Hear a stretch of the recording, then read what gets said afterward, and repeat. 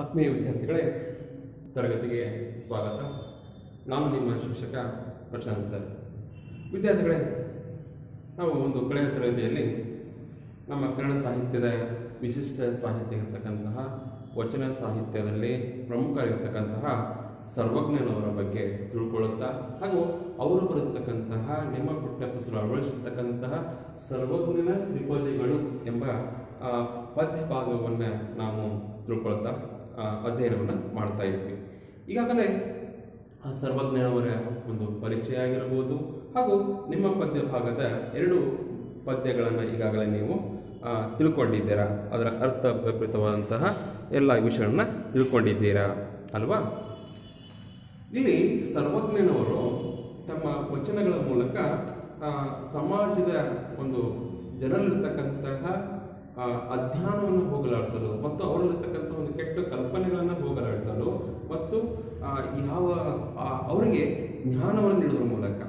ಅಂದರೆ ಕೇವಲ ಶಾಲೆಯಲ್ಲಿ ಶಿಕ್ಷಕರಾಗಿರ್ಬೋದು ಅಥವಾ ಗುರುಗಳು ಅಷ್ಟೇ ಶಿಕ್ಷಣ ನೀಡೋದಲ್ಲ ಇಂತಹ ತಿಳುವಳಿಕೆ ಹೊಂದಿರತಕ್ಕಂತಹ ಜ್ಞಾನವನ್ನು ಹೊಂದಿರತಕ್ಕಂತಹ ವ್ಯಕ್ತಿಗಳು ಸಹಿತ ತಮ್ಮ ಒಂದು ವಚನಗಳ ಮೂಲಕ ಜನರಲ್ಲಿರ್ತಕ್ಕಂತಹ ಕೆಲವು ಮೂಢನಂಬಿಕೆಗಳನ್ನಾಗಿರ್ಬೋದು ಅಥವಾ ತಪ್ಪು ಕಲ್ಪನೆಗಳಾಗಿರ್ಬೋದು ಅಥವಾ ಅವರಿರ್ತಕ್ಕಂಥ ಒಂದು ಅಜ್ಞಾನವನ್ನು ಹೋಗಲಾಡಿಸಲು ತಮ್ಮ, ಆ ಸಾಹಿತ್ಯವನ್ನು ಉಪಯೋಗಿಸಿಕೊಂಡು ಅದರ ಮೂಲಕ ಒಂದು ಸಮಾಜದ ಬದಲಾವಣೆಯಾಗಿ ಶ್ರಮಿಸಿದ್ರು ಅಂತ ನಾವಿಲ್ಲಿ ಹೇಳಿದರೆ ತಪ್ಪಾಗಲಿಕ್ಕಿಲ್ಲ. ಇಲ್ಲಿ ಒಂದೇ ಹೇಳ್ತಾರೆ, ನಾವು ಹೇಗೆ ಕೈಲಾಸವನ್ನು ಕಾಣ್ಬೋದು? ಹೇಗೆ ನಾವು ಇಲ್ಲಿ ಒಂದು ಉತ್ತಮ ಜೀವನವನ್ನು ಸಾಗಿಸಬಹುದು? ಹೇಗೆ ನಾವು ಇಲ್ಲಿ ಸಮಾಜದಲ್ಲಿ ಒಬ್ಬ ಒಳ್ಳೆಯ ವ್ಯಕ್ತಿಯಾಗಬಹುದು ಎನ್ನುವುದನ್ನು ಒಂದನೆಯ ಪದ್ಯ ಭಾಗದಲ್ಲಿ ಹೇಳ್ತಾರೆ. ನಾವು ಹೇಗೆ ಇಲ್ಲಿ ಸಮಾಜದಲ್ಲಿ ಒಬ್ಬ ಒಳ್ಳೆಯ ವ್ಯಕ್ತಿ ಆಗ್ತೇವೆ ಅಂತಂದ್ರೆ, ನಾವು ದಾನ ಧರ್ಮಗಳನ್ನು ಮಾಡೋದ್ರ ಮೂಲಕ ಸತ್ಯತನದಿಂದ ನಡೆದುಕೊ, ನಡೆದುಕೊಳ್ಳೋದ್ರ ಮೂಲಕ, ಮತ್ತೆ ಹೊರರು ಎಲ್ಲರೂ, ಬೇರೆಯವರೆಲ್ಲರೂ ನನ್ನಂತೆ ಅವರು ಸಹಿತ ಇಲ್ಲಿ ಜೀವನ ಮಾಡೋಕ್ಕೆ ಬಂದಿದ್ದಾರೆ. ಅವರಿಗೆಲ್ಲವೂ ಸಹಿತ ಸಲ್ಲಿಸಬೇಕು ಅಂತ ತಿಳ್ಕೊಂಡಾಗ ಈ ಒಂದು ಜೀವನ ಇಲ್ಲಿ ವೈಯಾರವಾಗುತ್ತೆ, ಸುಂದರವಾಗುತ್ತೆ ಅಂತ ಇಲ್ಲಿ ಕವಿಗಳಾಗಿರ್ತಕ್ಕಂಥ ಸರ್ವಜ್ಞವರು ಹೇಳ್ತಾರೆ. ಎರಡನೇ ಪ್ಯಾಡಲ್ಲಿ ಹೇಳ್ತಾರೆ ಎರಡನೇ ಪದ್ಯ ಭಾಗದಲ್ಲಿ ನೋಡಿ ನಾವು ಕೊಟ್ಟಿದ್ದು ತನಗೆ, ಅದು ಕೊಟ್ಟಿದ್ದು ತನಗಾಗಿ ನಾ ಕೊಟ್ಟಿರೋದು ನನಗೆ ಒಳ್ಳೇದಾಗಲಿ ಅಂತ ನಾ ಕೊಟ್ಟಿರೋದು, ಅಂದರೆ ನನ್ನ ಒಳಿತಿಗಾಗಿ ಮತ್ತು ಬೇರೆ ಒಳಿತಿಗಾಗಿಯೂ ಸಹಿತ. ನನ್ನಿಂದ ಇನ್ನೊಬ್ಬರಿಗೆ ಉಪಕಾರ ಆಗುತ್ತಲ್ವ? ಕೊಟ್ಟಿದ್ದು ತನಗಾಗಿ ಅಂದರೆ ನನಗೆ ಒಳಿತಿಗಾಗಿ ನಾವು ಕೊಟ್ಟಿರ್ತಕ್ಕಂಥದ್ದು. ಮತ್ತು ಈ ಬಜೆಟದ್ದು ಯಾವಾಗಲೂ ಸಹಿತ ಪರರಿಗೆ ನಾವು ಮುಚ್ಚಿಡ್ತೇವೆ.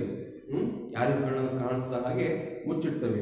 ಅದು ಯಾವಾಗಿದ್ರೂ ಸಹಿತ ಪರರ ಬಾಲೆ ಬೇರೆಯವರ ಬಾಲೆ ನಾವೇನು ಹುಟ್ಟಿದಾಗ ಏನು ತರೋದಲ್ಲ ಸಾಯುವಾಗೂ ಏನು ತಿಳ್ಕೊಂಡು ಹೋಗಲ್ಲ, ಅದು ನಾವೇನಿಲ್ಲಿ ಜೀವನಾವಧಿಯಲ್ಲಿ ನಾವೇನು ಸಂಪಾದನೆ ಮಾಡ್ತೀವಲ್ಲ, ಆಸ್ತಿ ಅಂತ ಏನಕ್ಕೆ ಸಂಪಾದನೆ ಮಾಡ್ತೀವಲ್ಲ ಅದೆಲ್ಲವೂ ಸಹಿತ ಬೇರೆಯವರ ಪಾಲಲ್ಲ ಬೇರೆಯವ್ರಿಗೆ ಸೇರುತ್ತೆ ಹೊರತು ನಾವು ಏನೋ ಒಂದು ಹೆಸರು ಸಾಧಿಸಿದ್ವಿ ಅಂತಂದರೆ, ಹೆಸರು ಮಾಡಿದ್ವಂದ್ರೆ ಯಾರು ಒಳ್ಳೇದು ಮಾಡ್ತಂದ್ರೆ ಅದು ನಮ್ಮದಾಗುತ್ತೆ. ಅದು ಬೇರೆಯವ್ರಿಗೆ ಆಗಲ್ಲ. ಅದು ಬೇರೆಯವ್ರಿಗೆ, ಅದು ಹೋಗೋದಿಲ್ಲ. ನಾವೇನಾದರೂ ಆಸ್ತಿ ಮಾಡಿ, ಸಂಪಾದನೆ ಮಾಡಿ, ಅದನ್ನು ಕೂಡಿಟ್ಟು ಬಚ್ಚಿಡ್ತವೋ, ಅದು ಯಾವಾಗಲೂ ಸಹಿತ ಬೇರೆಯವರ ಪಾಲಾಗಿರುತ್ತೆ. ನಾವು ನಮ್ಮ ಒಂದು ವ್ಯಕ್ತಿತ್ವವನ್ನು ರೂಪಿಸ್ಕೊಳ್ತವೋ, ನಮ್ಮ ಹೆಸರನ್ನೇ ಗಳಿಸ್ಕೊಳ್ತವೋ ದಾನ, ಧರ್ಮವನ್ನು ಮಾಡ್ತವೋ, ಅದು ಏನಾಗುತ್ತೆ? ನಮಗೆ ಹೆಸರನ್ನು ತಂದುಕೊಡುತ್ತೆ. ಅದನ್ನು ಮಾತ್ರ ನಮ್ಮ ಶಾಶ್ವತ ಆಗುತ್ತೆ ಹೊರತು ನಮ್ಮ ಆಸ್ತಿಗಳು, ಪಾಸ್ತಿಗಳು, ಹಣ ಒಡವೆ, ಇವ್ಯಾವುದೂ ಸಹಿತ ನಮ್ಮ ಪಾಲಾಗಲ್ಲ, ಅದು ಯಾವಾಗಲೂ ಬೇರೆಯವ್ರ ಪಾಲಾಗೋದು, ಹೆಂಡತಿ ಪಾಲಾಗ್ಬೋದು ಮಕ್ಕಳ ಪಾಲಾಗಿರ್ಬೋದು ಅಥವಾ ಸಂಬಂಧಿಕರಿಗೆ ಅಥವಾ ಏನು ಒಟ್ಟಾರೆ ಅದು ಬೇರೆಯವ್ರ ಪಾಲಾಗುತ್ತೆ, ಆಗ ಆಗತ್ತೆ ಹೊರತು ಅದು ನಮ್ದಾಗಲ್ಲ. ಹಾಗೆ ನಾವು ಕೊಟ್ಟಿದ್ದೇವೆ, ನಮ್ಮ ಮನಸ್ಸು ಕೊಟ್ಟಿದ್ದೀವಿ ಕೊಟ್ಟಿದ್ದೇವೆ ಅಂತಂದರೆ ಅದು ಕೆಟ್ಟ, ಕೆಟ್ಟದಾಗುತ್ತೆ ಅಂತ ನೀವು ಯೋಚನೆ ಮಾಡಬೇಡಿ. ಅದರಿಂದ ನಿಮಗೆ ಒಳ್ಳೆಯದಾಗುತ್ತೆ. ಹಾಗಂತ ಕೊಟ್ಟಿವೆ ಅಂತ ಎಲ್ಲ ಕಡೆಗೂ ಸಾರೋದಲ್ಲ ಎಲ್ಲರಿಗೂ ಹೇಳೋದಲ್ಲ, ನಾನು ಕೊಟ್ಟಿದ್ದೇನೆ, ನಾನು ಕೊಟ್ಟೆ ಅಂತ ಹೆಸರಿಗೆ ಮಾಡ್ಕೊಳ್ಳೋದಲ್ಲ. ನೀವು ಕೊಟ್ಟಿದ್ದು ಹ್ಮ್, ಕೆಟ್ಟಿದ್ದೇನೆ ಬೇಡ ಹಾಳಾಯಿತು ನಷ್ಟ ಆಯಿತು ಅಂತ ಹೇಳಬೇಡ. ಅದರ ಒಂದು ಫಲ ಏನು ಸಿಗುತ್ತೆ ನಿಮಗೆ ಮುಂದೆ ಒಳ್ಳೆಯದನ್ನು ಸಿಗುತ್ತೆ. ನೀವು ಈ ಒಂದು ಲೋಕದಲ್ಲಿ ಅಥವಾ ಮರಣ ಹೊಂದಿದ ನಂತರದಲ್ಲಿ ಒಂದು ನಾಲ್ಕು ಜನ ನೋಡು ಇಂಥವ್ರು ಇದ್ದರು ಈ ಥರ ಸಹಾಯ ಮಾಡ್ತಾ ಇದ್ರು ಈ ಥರ ದಾನ ಮಾಡ್ತಾ ಇದ್ರು ಬಡವರು ಬೆಳೀತನ ಮಾಡ್ತಾ ಇದ್ರು ಅಂತ ನೀನು ನೆನೆಸ್ಕೊಂಡ್ರೆ ಅದೇ ನಿನಗೆ ಸಂಪತ್ತು ಅದೇ ನಿನಗೆ ಒಂದು ಊಟ ಇದ್ದಾಗೆ ಅಂದರೆ ಕಟ್ಟಿಯೋದು ಬುದ್ಧಿ ಮುಂದಕ್ಕೆ ಕಟ್ಟಿ ಹೋಗುತ್ತೆ ಅಂದರೆ ನಮಗೆ ಹೊಟ್ಟೆ ತುಂಬಿದ ಮೇಲೆ ಹಸುವಾದ ನಾವೇನು ಊಟ ಮಾಡೋಕ್ಕೆ ತೆಗೆದುಕೊಂಡು ಹೋಗ್ತಕ್ಕಂತಹ ಒಂದು ಏನು ಆಹಾರ ಇದೆಯಲ್ಲ, ಅದು ಮೊಸರನ್ನ ಇರ್ಬೋದು ಕಲಸರನ್ನ ಇರ್ಬೋದು ಹೊಟ್ಟೆ ಇರ್ಬೋದು ಅಥವಾ ಏನೇ ಇರ್ಬೋದು, ಊಟ ಇದೆಯಲ್ಲ, ಅದು ಮುಂದಕ್ಕೆ ನಮಗೆ ಊಟ ಮಾಡೋಕ್ಕೆ ಇರ್ತಕ್ಕಂಥ ಹಾಗೆ ನಮ್ಮ ಹೆಸರು ಸಹಿತ ಮುಂದೆ ಇಲ್ಲಿ ಶಾಶ್ವತವಾಗಿ ಉಳಿಯುತ್ತೆ ಅನ್ನೋದನ್ನು ಈ ಎರಡನೇ ಪದ್ಯಪಾದದಲ್ಲಿ ಕವಿಗಳು ತಿಳಿಸಿರ್ತಕ್ಕಂಥದ್ದು. ವಿದ್ಯಾರ್ಥಿಗಳೇ, ಈಗ ಮೂರನೇ ಭಾಗಕ್ಕೆ ಹೋಗೋಣ. ಜಾತಿಹೀನನ ಮನೆಯು ಜ್ಯೋತಿ ತಾಹೀನವೇ ಜಾತಿ ವಿಜಾತಿ ಎನಬೇಡ. ಜಾತಿ ವಿಜಾತಿ ಎನಬೇಡ ದೇವನುಲಿ. ದಾತಾನೆ ಜಾತ ಸರ್ವಜ್ಞ. ದಾತಾನೆ ಜಾತ ಸರ್ವಜ್ಞ. ಇಲ್ಲಿ ಮೂರನೇ ಪಾ ಪ್ಯಾರದಲ್ಲಿ ನೋಡಿ. ಯಾವ ರೀತಿ ನಮ್ಮ ಇರತಕ್ಕಂಥ ಒಂದು ಕಲ್ಪನೆಯನ್ನ, ಮೂಲ ಕಲ್ಪನೆಯನ್ನು ಹೋಗಲಾಡಿಸೋಕೆ ಸರ್ವಜ್ಞರು ತಮ್ಮ ಸಾಹಿತ್ಯನ ಬಳಸ್ಕೊಂಡಿದ್ದಾರೆ ಅಂದರೆ ಜಾತಿಹೀನನ ಮನೆಯು. ಹೀನ ಅಂದರೆ ಕೆಟ್ಟವನು ಅಂತ ಹೇಳ್ತೇವೆ.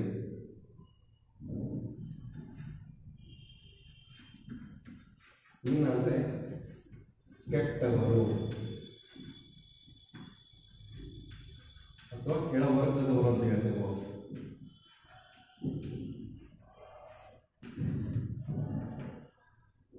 ಜಾತಿಹೀನನ ಮನೆಯು ಜ್ಯೋತಿತಾಹೀನವೇ. ಹ್ಮ್? ಜಾತಿಹೀನ ಅಂದ್ರೆ ಕೆಟ್ಟ ಜಾತಿ ಅಂತ ಏನು ಕರಿತೇವಲ್ಲ? ಅವರ ಮನೆಯಲ್ಲಿ ಉಳಿತಕ್ಕಂತಹ ಈ ಜ್ಯೋತಿ ಏನಾದ್ರೆ ಹೀನವೇ? ಹ್ಮ್? ನೋಡಿದ್ರೆ ನೀವು? ಅದು ಜಾತಿಯಲ್ಲಿ ಉನ್ನತ ಜಾತಿಯಲ್ಲಿ ಇರ್ಬೋದು ಅಥವಾ ಕೆಟ್ಟ ಜಾತಿಯಲ್ಲಿ ಇರ್ಬೋದು. ಆ ದೀಪ ಉರಿಯಕ್ಕೆ ಏನು ಬೇಕು? ಆ ದೃಷ್ಟಿದ್ರೆ ಅದು ಎಲ್ಲಿ ಬೇಕಾದ್ರೂ ತನ್ನ ಬೆಳಕನ್ನು ಪಸರಿಸುತ್ತೆ ಹರಡುತ್ತೆ ಅಲ್ವಾ? ಅದು ಜಾತಿಹೀನ ಅಥವಾ ಕೆಟ್ಟ ಜಾತಿ, ತಳ ಜಾತಿ ಕೆಳವರ್ಗ ಅಂತ ಕರಿತೇವೋ ಅದು ಇರ್ಬೋದು ಅಥವಾ ಉನ್ನತ ಜಾತಿ ಅಂತ ಏನು ಕರಿತೇವೋ? ಹಿಂದೆ ಇಲ್ಲಿ ಸಮಾಜದಲ್ಲಿ ಈ ಜಾತಿ ವ್ಯವಸ್ಥೆ ಇತ್ತು, ವರ್ಗ ವ್ಯವಸ್ಥೆ ಇತ್ತು. ಬ್ರಾಹ್ಮಣ ವೈಶ್ಯ ಶು ಕ್ಷತ್ರಿಯ ಬ್ರಾಹ್ಮಣ, ಕ್ಷತ್ರಿಯ ವೈಶ್ಯ ಶೂದ್ರ ಎನ್ನುವ ನಾಲ್ಕು ವರ್ಗಗಳಿದ್ವು. ಇಲ್ಲಿ ಬ್ರಾಹ್ಮಣ ಪೂಜಾ ಕಾರ್ಯ ಮಾಡ್ತಕ್ಕಂಥವರು ಅಥವಾ ಜ್ಞಾನ ಹೊಂದಿರ್ತಕ್ಕಂಥವರು ಅವರು ಬ್ರಾಹ್ಮಣರು ಮೇಲ್ವರ್ಗದವರು.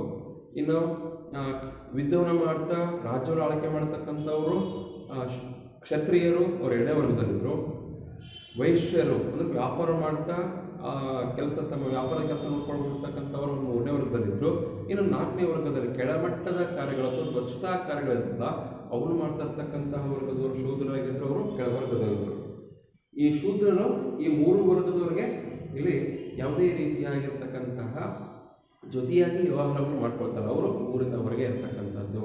ಈ ರೀತಿ ಬೇರೆ ಬೇರೆ ಒಂದು ಪದ್ಧತಿಗಳು, ಕೆಟ್ಟ ಪದ್ಧತಿಗಳು ಇದ್ದು ಅಲ್ವಾ? ಇನ್ನು ಯಾಕೆ ಹೇಳಿದ್ರೆ ಒಂದು ಈ ವಿಷಯಕ್ಕೆ ಸಂಬಂಧಪಟ್ಟಂತೆ. ಇಲ್ಲಿ ಸರ್ವಜ್ಞ ಹೇಳ್ತಾರೆ, ಜಾತಿಹೀನನ ಮನೆಯು ಏನು ಕೆಟ್ಟ ಜಾತಿ ಅಂತ ಹೇಳ್ತಾವಲ್ಲ ಅವರ ಮನೆಯಲ್ಲಿ ಉಳಿತಕ್ಕಂತಹ ಜ್ಯೋತಿ ಏನಾದರೂ ಹೀನವೇ, ಕೆಟ್ಟದ್ದ. ಅಲ್ಲಿ ನಿಮಗೆ ಒಂದು ಪಣತಿ ಎಣ್ಣೆ ಬತ್ತೆ.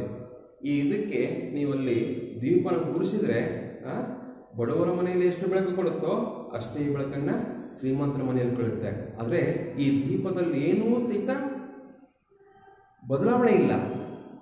ಅಲ್ಲಿ ಏನೂ ಸಹಿತ ಅದು ನಾ ಮೇಲೂ ನೀ ಮೇಲೂ ಅವ್ರ ಮನೆ ಮೇಲೂ ಈ ಮನೆ ಕೇಳ ಯಾವುದನ್ನು ನೋಡಲ್ಲ ಅದು? ಬಡವನ ಮನೆಯಲ್ಲೂ ಸಹಿತ ಬೆಳಕು ನೀಡುತ್ತೆ ಶ್ರೀಮಂತರ ಮನೆಯಲ್ಲೂ ಬೆಳಕು ನೀಡುತ್ತೆ. ಶ್ರೀಮಂತರ ಮನೆಯಲ್ಲಿ ಹೆಚ್ಚಿಗೆ ಬೆಳಕು ನೀಡುತ್ತೆ ಅಂತ ಹೇಳ್ತಾ ಇಲ್ಲ. ಅಲ್ಲಿ ಎಷ್ಟು ಆವರಣ ಅದು ಬೆಳಕು ಆವರಿಸುತ್ತೋ ಅಷ್ಟೇ ಬೆಳಕಿನಂತೆ ಬಡವರ ಮನೆಯಲ್ಲಿ ಬೀಳುತ್ತೆ ಇದರಲ್ಲಿ ಯಾವುದೇ ರೀತಿಯ ಭೇದ ಭಾವ ಇಲ್ಲ.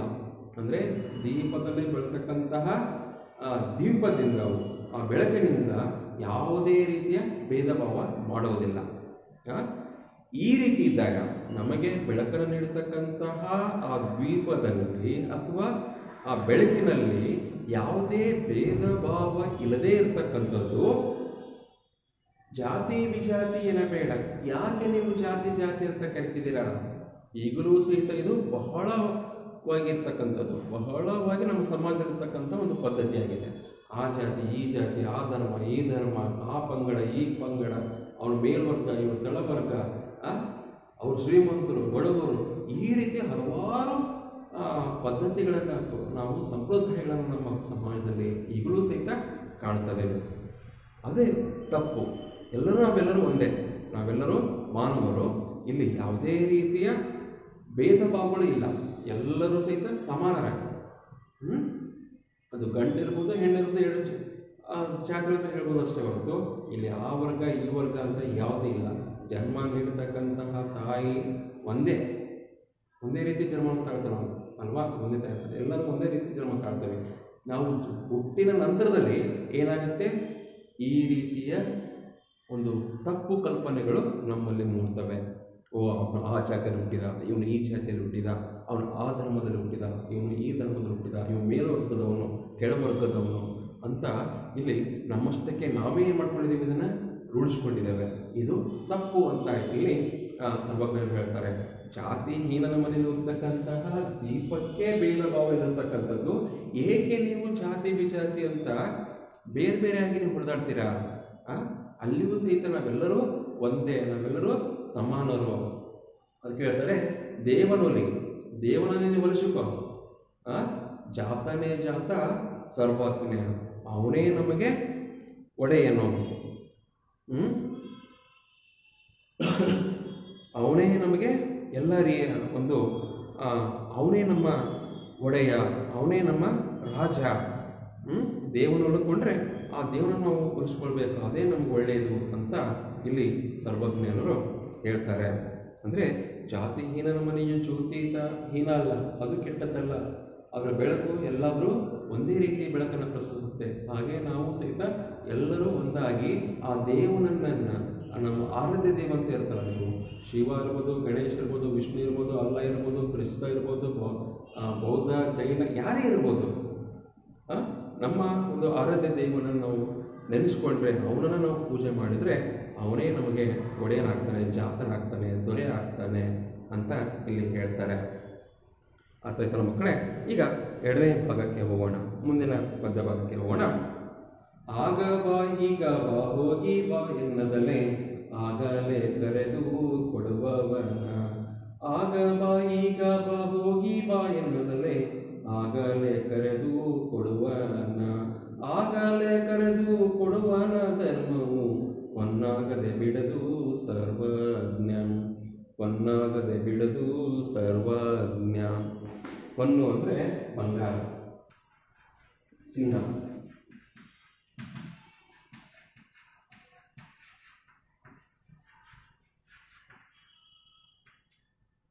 ಇಲ್ಲಿ ಯಾರೋ ನಿಮ್ಮ ಹತ್ರ ಸಹಾಯ ಕೇಳ್ಕೊಂತ ಬರ್ತಾರೆ. ಅಥವಾ ನಿಮ್ಮ ಸ್ನೇಹಿತರು ಯಾರೋ ಒಂದು ನೋಟ್ಸ್ ಕೊಡೋಕ್ಕೋ ಅಥವಾ ಇನ್ನೊಂದು ಏನೋ ಪುಸ್ತಕ ಕೇಳೋಕ್ಕೋ ಪೆನ್ ಕೇಳೋಕ್ಕೋ ಅಥವಾ ಯಾವುದೋ ಒಂದು ಸಹಾಯವನ್ನು ಕೇಳ್ತಾ ನಿಮ್ಮ ಕಡೆ ಬರ್ತಾರೆ. ಅವಾಗ ನಾವೇ ಮಾಡ್ತೇವೆ? ಆಗ ಬಾ. ನಾವು ಟೈಮ್ ಕೊಡ್ತೇವೆ. ಓ ನೀವು ಬೆಳಗ್ಗೆ ಬಾ. ರಾತ್ರಿ ಬಾ. ಮಧ್ಯಾಹ್ನ ಬಾ. ಹನ್ನೊಂದು ಗಂಟೆಗೆ ಬಾ. ಹನ್ನೆರಡು ಗಂಟೆಗೆ ಬಾ. ನಾಲ್ಕು ಗಂಟೆಗೆ ಬಾ. ಹ್ಞೂ ಅಂತ ಹೇಳ್ತೇವೆ. ಈಗ ಬಾ. ಈ ನಾ ಜಸ್ಟ್ ಅಪ್ಪ ನೀ ಬಂದ್ಬಿಡಿ ಈಗ. ನಾ ಕೊಡ್ತೇನೆ ಈಗ ಅನ್ನೋದು. ಹಾಂ ಈಗ ಹೋಗು.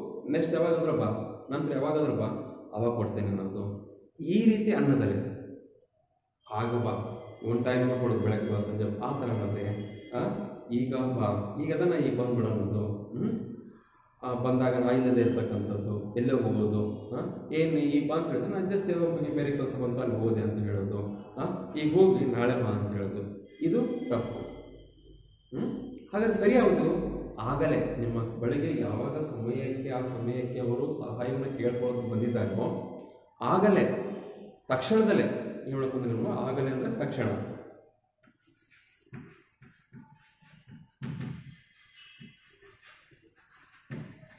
ತಕ್ಷಣಕ್ಕೆ ನಿಮ್ಮಿಂದ ಏನು ಸಹಾಯ ಆಗುತ್ತೋ ಆ ಸಹಾಯವನ್ನು ನೀವು ಮಾಡಬೇಕು. ಅವನು ಇಲ್ಲಿ ದುಡ್ಡು ಕೇಳ್ತಾರೆ ಯಾರೋ ಒಂದು ಸಾವಿರ ಕೇಳ್ತಾರೆ, ಎರಡು ಸಾವಿರ ಕೇಳ್ತಾರೆ, ಅದೆಷ್ಟು ಅವ್ರಿಗೆ ಎಷ್ಟು ಬೇಕೋ ಅಷ್ಟು ಕೇಳ್ತಾರೆ. ನಿನ್ನ ಕಡೆ ಅಷ್ಟು ಇದ್ರೆ ಕೊಟ್ಬಿಡು ಆಗಲೇ ಅಷ್ಟು ಇದ್ರೆ ಆಗಲೇ ಕೊಟ್ಬಿಡು. ಯಾವಾಗ? ನನ್ನಲ್ಲಿ ಇದ್ದು ಹೆಚ್ಚಾಗಿದ್ರೆ ಆಗಲೇ ಯಾರು ಸಹಾಯ ಕೇಳ್ಕೊಳ್ತಾರೋ ಅಷ್ಟು ಕೊಟ್ಬಿಡು. ಇಲ್ಲಪ್ಪ, ನಿನ್ನ ಕೈ ಅಷ್ಟು ಆಗಲ್ಲ. ಅವ್ರು ಎಷ್ಟು ಕೇಳ್ತಾರೋ ನಿನ್ನಿಂದ ಇಷ್ಟ ಆಗುತ್ತೋ. ಐದುನೂರು ಕೇಳಿದ್ರೆ ಇನ್ನೂರು, ನೂರು ನಿನ್ನ ಕಡೆ ಪುಸ್ತಕ ಕೇಳ್ತಾರೆ. ನೋಡಪ್ಪ ನಾನು ಪಾಠ ಓದ್ತಾ ಈಗ. ನಾವು ಓದಿ ಕೊಡ್ತೇನೆ. ಇಲ್ಲೇ ಕೂತ್ಕೋ.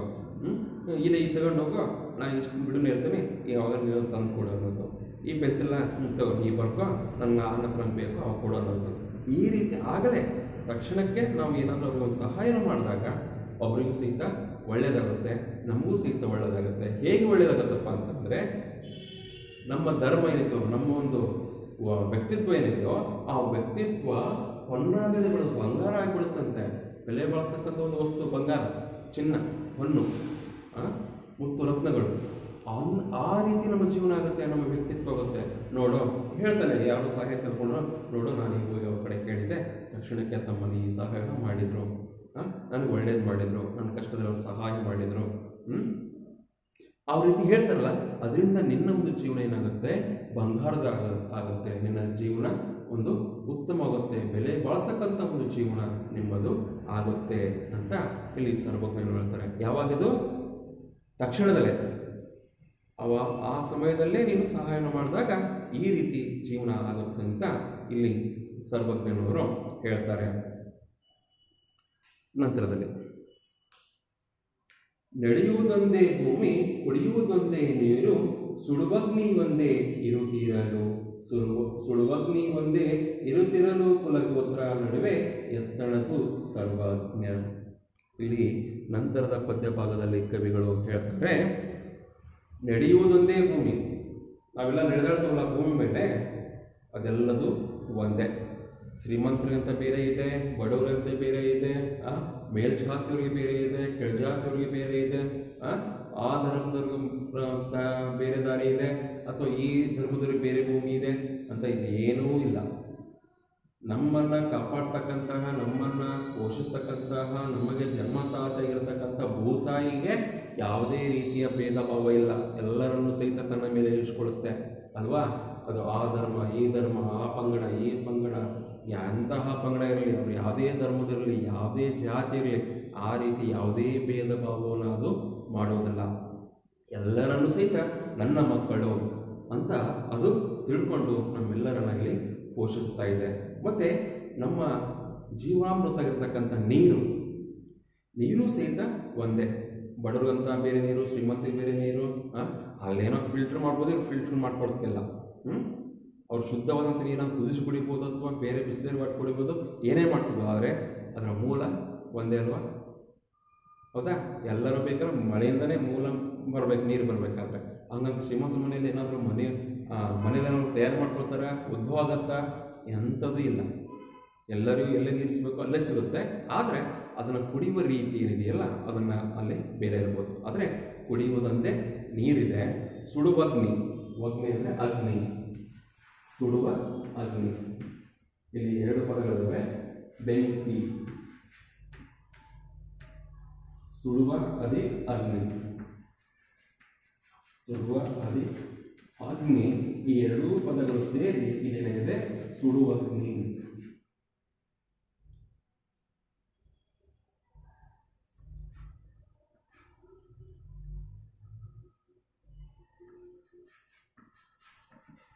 ಸುಡುವಗ್ನಿ ಆಗಿದೆ ಅಲ್ವಾ? ಅಗ್ನಿ ಅಂದರೆ ಬೆಂಕಿ. ಹ?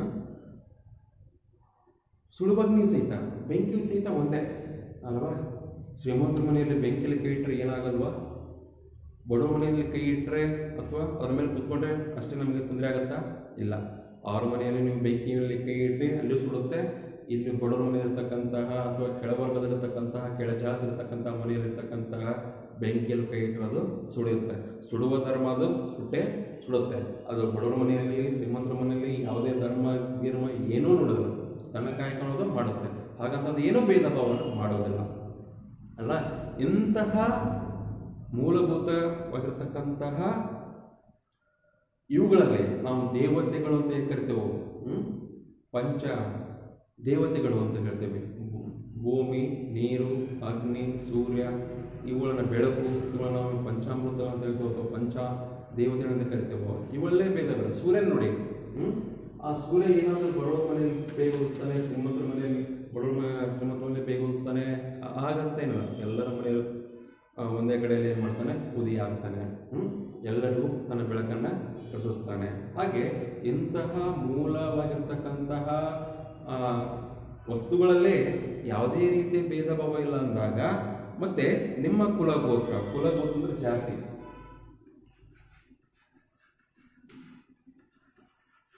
ಕುಲಗೋತ್ರ ಅಂದ್ರೆ ಜಾತಿ, ಪಂಗಡ? ಇವುಗಳಲ್ಲಿ ಯಾಕೆ ನೀವು ಭೇದ ಭಾವವನ್ನು ನೋಡ್ತೀರಾ? ಅಂತ ಅಂದ್ರೆ ಬೇರೆ. ಹ್ಞೂ ಅರ್ಥ ಆಯ್ತಾ ಮಕ್ಕಳೇ? ನಡೆಯುವುದೊಂದೇ ಭೂಮಿ, ಸುಡುವ ಕುಡಿಯುವುದೊಂದೇ ನೀರು ಸುಡುವಗ್ನಿ ಒಂದೇ, ಬೆಳಕು ನೀಡುವ ಸೂರ್ಯನು ಒಂದೇ ಅಡ್ಡಾಡ್ತಕ್ಕಂತಹ ಗಾಳಿಯೂ ಒಂದೇ, ಅಲ್ವಾ?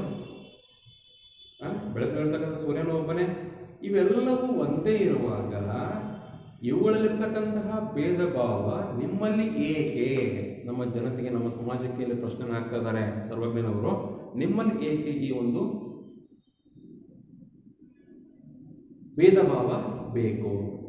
ಯಾಕೆ ಬೇಕು ಇದು ಭೇದ ಭಾವ ಅವುಗಳ ಹಾಗೆ ನೀವು ಸಹಿತ ಒಂದಾಗಿ ನಡೆದುಕೊಳ್ಳಿ ಅಂತ ಇಲ್ಲಿ ಸರ್ವಜ್ಞನವರು ನಮಗೆ ತಿಳಿಸ್ತಾ ಇದ್ದಾರೆ ಸಮಾಜಕ್ಕೊಂದು ಸಂದೇಶವನ್ನು ತಿಳಿಸ್ತಾ ಇದ್ದಾರೆ.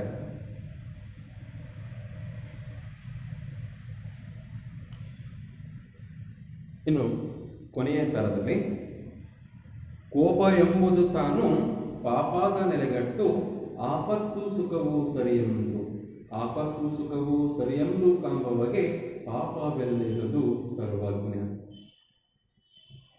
ಈಗ ನಮಗೆ ಕೋಪ ಬರುತ್ತೆ, ಸಿಟ್ಟಾಗುತ್ತೆ. ಅದೊಂದು ಪಾಪದ ವಿಷಯ ಕೆಟ್ಟದದು ಕೋಪ, ಸಿಟ್ಟು ಇವು ನಮಗೆ ಒಳ್ಳೆಯದಲ್ಲ.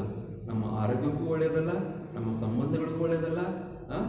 ಒಟ್ಟು ಸಮಾಜಕ್ಕೆ ಒಂದಿದು ಒಳಿತಾಗಿರ್ತಕ್ಕಂತಹ ವಿಷಯ ಅಲ್ಲ ಕೋಪ ಅನ್ನೋದು. ನಾವು ಕೋಪ ಮಾಡ್ಕೊಳ್ಬಾರ್ದು ಸಿಟ್ಟಾಗಬಾರ್ದು ಹ್ಞೂ ಆಪತ್ತು ಸುಖವೆಂದು ಆಪತ್ತು ಆಪತ್ತು ಅಂದರೆ ಕ್ಷಣಕ್ಕದಲ್ಲಿ ಕ್ಷಣದಲ್ಲಿ. ಆಪತ್ತು ಸುಖವು ಸರಿಯೆಂದು ನಡೀತಿರ್ತಕ್ಕಂಥ ನಾ ಇವ ಸಹಾಯ ಮಾಡ್ತಾನಪ್ಪ ಅಂತಂದರೆ ಕೋಪ ಬಿಟ್ಟು, ಸಿಟ್ಟು ಬಿಟ್ಟು ಇನ್ನೊಬ್ಬರು ಯಾರಿಗೋ ಒಂದು ಸಹಾಯ ಮಾಡ್ತಾನೆ. ಅವನು ಶತ್ರು, ಮಿತ್ರ ಶತ್ರು ಅಂತ ಕೇಳ್ತೇವೆ ಅಲ್ವಾ? ಅವರೇನೋ ಏನೋ ಒಂದು ಗಳಿಗೆ ಅದು ನಮ್ಮ ನಮ್ಮ ಅವರ ಮಧ್ಯೆ ನಮ್ಮನ್ನು ಏನೋ ಒಂದು ಸಮಸ್ಯೆ ಆಗಿ ಅಥವಾ ತೊಂದರೆಗಳಾಗಿ ಇರ್ಬೋದು. ಅದನ್ನು ಕ್ಷಣದಲ್ಲೇ ಮಾತ್ರ. ಅದನ್ನು ಅಲ್ಲಿಗೆ ಬಿಟ್ಟು ಬಿಡಬೇಕು ಅದನ್ನೇ ಜೀವನಾದ್ಯಂತವಾಗಿ ನಮ್ಮ ಮರಣದ ಹೊತ್ತಿಗೂ ಅದನ್ನು ಮುಂದುವರ್ಸ್ಕೊಂಡು ಹೋಗಬಾರ್ದು. ಆ ಕ್ಷಣದಲ್ಲಿ ಅದನ್ನು ಮರೆತು ಬಿಡಬೇಕು ಅದೊಂದು ನಮ್ಮ ಪಾಪ ಕೆಟ್ಟದ್ದು. ಅದೇ ನಾವು ಏನು ಮಾಡ್ತೀವಿ? ನಮ್ಮ ತಲೆಯಲ್ಲಿ ವಿಚಾರ ಮಾಡುತ್ತೆ. ಹಾಗೆ ಅದು ಬರ್ತಾನೇ ಇರುತ್ತೆ. ಅದು ತಪ್ಪು. ಆ, ಹೇಳ್ಕೊತೈತಾ ಕೋಪವೆಂಬುದು ತಾನು ಪಾಪದ ನೆಲೆಗಟ್ಟ ಅದೊಂದು ಕೆಟ್ಟದ್ದಾಗಿರ್ತಕ್ಕಂಥದ್ದು. ಆಪತ್ತು ಸುಖವೆಂದು ಆ ಕ್ಷಣದಲ್ಲಿ ಏನಾಗುತ್ತೋ ಅದನ್ನು ಅಲ್ಲೇ ನಾವು ಮಾತಾಡ್ತೇವೆ, ಕೋಪಗೊಳ್ತೇವೆ, ಸಿಟ್ಟು ಮಾಡ್ತೇವೆ ಅದನ್ನ ಅಲ್ಲೇ ಮುಂದೆ ನಾವು ಇಬ್ಬರು ಜೊತೆಯಾಗನೇ ಹೋಗ್ಬೇಕು. ಆ ರೀತಿ ನಾವೇನಾದರೂ ಮುಂದಡಿದ್ರೆ ಕಾಂಬವನಿಗೆ ಕಾಣುವವನಿಗೆ ಕಾಂಬ ಅಂದರೆ ಕಾಣುವ. ಯಾರು ಆಪತ್ತು, ಸುಖವೆಂತ ಅಂತ ಏನು ಕಾಣ್ತಾರ, ಅವರಿಗೆ ಪಾಪ ಎಲ್ಲಿದೆ? ಸುಖ ಪಾಪ ಮಾಡಿದವನು ನರಕ ಹೋಗ್ತಾ ಅಂತಾರಲ್ಲ ಅದೇನೂ ಇಲ್ಲ. ಆ ಹೊತ್ತಿಗೆ ಮಾತಾಡಬೇಕು ಅದು ಸಮಸ್ಯೆ ಬಗೆಹರಿಸಬೇಕು ಮತ್ತೆ ಒಂದಾಗಿ ನಡೀತಾನೆ ಇರಬೇಕು. ಅವರಿಬ್ಬರ ನಡುವೆ ಮತ್ತೆ ಹಗೆತನ ಸಿಟ್ಟು ಕೋಪ ದ್ವೇಷ ಆ, ಇವುಗಳ್ಯಾವುದು ಆಗಬಾರ್ದು. ಯಾರು ಈ ರೀತಿ ನಡ್ಕೊಳ್ತಾರೋ ಕೋಪವನ್ನು ಪಾಪದ ನೆಲೆಗಟ್ಟೋದು ಕೆಟ್ಟದ್ದು ಆಪತ್ತು ಸುಖಕ್ಕಾಗಿ ನಾನು ಸರಿ ಎಂದು ತಿಳ್ಕೊಂಡು ಯಾರು ಮತ್ತೆ ಒಂದಾಗಿ ಮುನ್ನಡೀತಾರೋ ಅವರಿಗೆ ಪಾಪ ಎಲ್ಲಿರುತ್ತೆ ಅಂತ ಇಲ್ಲಿ ಸರ್ವಜ್ಞನವರು ತಮ್ಮ ವಚನದ ಮೂಲಕ ತಿಳಿಸ್ತಾರೆ. ಮಕ್ಕಳೇ, ಅರ್ಥ ಆಯ್ತಾ? ನೋಡಿ, ಇವರ ಒಂದು ಈ ಸರ್ವಜ್ಞನ ತ್ರಿಪದಿಗಳು ಎಂಬ ಪಾಠದ ಒಂದು ಪದ್ಯದ ಮೂಲಕ, ವಚನಗಳ ಮೂಲಕ ಎಷ್ಟು ನಮ್ಮ ಸಮಾಜಕ್ಕೆ ಅಥವಾ ನಮ್ಮ ಒಳಿತಿಗಾಗಿ ನಾವು ಹೇಗೆ ಇರಬೇಕು ಅನ್ನೋದನ್ನು ಇಲ್ಲಿ ಅವರು ನಡಿ, ಹೇಳ್ಕೊಡ್ತಾರೆ. ಅದಕ್ಕೆ ಇಲ್ಲಿ ಹೇಳ್ತಾರೆ, ನುಡಿದಂತೆ ನಡೆ, ನಡೆದಂತೆ ನುಡಿ. ನಾವು ಹೇಗೆ ನುಡಿತೇವೋ, ನಾವು ಹೇಗೆ ಮಾತನಾಡ್ತೇವೋ ಅದೇ ರೀತಿ ನಾವು ನಡೆದುಕೊಳ್ಬೇಕು. ಅದೇ ರೀತಿ ನಮ್ಮ ಜೀವನವನ್ನು ಸಾಗಿಸ್ಬೇಕು.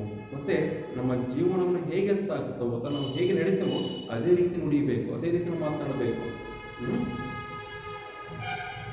ಸಾಧನೆಗಳು ಮಾತಾಗಬಾರದು. ಮಾತುಗಳು ಸಾಧನೆ ಆಗಬಾರದು. ಸಾಧನೆಗಳಲ್ಲಿ ಮಾತಾಗಬೇಕು ಅನ್ನೋದು ಇನ್ನೊಂದು ಮಾತು ಬರುತ್ತೆ ಇಲ್ಲೊಬ್ರು ಹೇಳ್ತಾರೆ ಅದನ್ನು ಮಾಡ್ತಾನೆ, ಇದನ್ನು ಮಾಡ್ತಾನೆ ಹಂಗೆ ಮಾಡ್ತಾನೆ, ಇದನ್ನು ಮಾಡ್ತಾನೆ. ಏನೇನೋ ಮಾಡ್ತಾನೆ ಅಂತ ಮಾತನ್ನ ಹೇಳ್ತಾರೆ ಹೊರತು ಅವ್ನು ಯಾವುದನ್ನು ಬಿಡೋದಿಲ್ಲ ಅದು ಆಗಬಾರ್ದು. ನಾವು ಮಾಡಿ ತೋರಿಸಿ ನಾವು ಮಾತನಾಡಬೇಕು ಎಂಬ ಒಂದು ಮಹಾ ಸಂದೇಶವನ್ನು ಸಹಿತ ಇಲ್ಲಿ ಸರ್ವಜ್ಞವರು ಹೇಳ್ತಾರೆ. ಅರ್ಥ ಆಯ್ತಾ ಮಕ್ಕಳೇ? ನಿಮಗೆಲ್ಲರಿಗೂ ಸಹಿತ ಇದೊಂದು ಅರ್ಥ ಆಗಿದೆ ಅಂತ ತಿಳ್ಕೊಳ್ತೇನೆ. ಇದೇ ರೀತಿ ನಿಮ್ಮ ಜೀವನವನ್ನು ನೀವು ರೂಢಿಸ್ಕೊಳ್ಳಿ. ನಿಮ್ಮಿಂದ ಎಷ್ಟು ಸಹಾಯ ಆಗುತ್ತೋ ಅಷ್ಟು ಸಹಾಯವನ್ನು ಬೇರೆಯವರಿಗೆ ಮಾಡಿ, ಹ್ಮ್? ಒಳಿತನ್ನ ಮಾಡಿ. ಯಾವುದೇ ರೀತಿಯ ಭೇದ ಭಾವ ನೀವೆಲ್ಲರಿಗೂ ವಿದ್ಯಾರ್ಥಿಗಳೇ? ಎಲ್ಲರಿಗೂ ಗುರುಗಳು ಒಬ್ಬರೇ ನಾವು ಹೇಗೆ ಎಲ್ಲರಿಗೂ ಪಾಠವನ್ನು ಮಾಡ್ತೀವೋ ಹಾಗೆ ನೀವೆಲ್ಲರ ಜೊತೆಯಾಗಿ ಜೊತೆಯಾದಿಯಾಗಿ ನೀವು ಇದ್ದು ನಿಮ್ಮಿಂದ ಏನಾಗುತ್ತೋ ಅಷ್ಟು ಒಳಿತನ ಮಾಡ್ತಾ, ನಿಮ್ಮ ಜೀವನವನ್ನು ಸಾಫ್ತರ ಮಾಡಿಕೊಳ್ಳಿ ಅಂತ ಹೇಳ್ತಾ ಈ ತರಗತಿಗೆ ನಾನು ಮುಕ್ತಾಯಗೊಳಿಸ್ತಾ ಇದ್ದೇನೆ. ಧನ್ಯವಾದಗಳು.